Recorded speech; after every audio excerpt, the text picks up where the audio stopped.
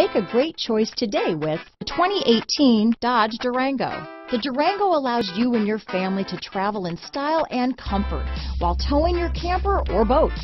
It offers more interior room and towing capability than most midsize SUVs and has an available third row of seating. Underneath are sturdy body-on-frame mechanicals and the option for a powerful V8 engine. This vehicle has less than 95,000 miles. Here are some of this vehicle's great options.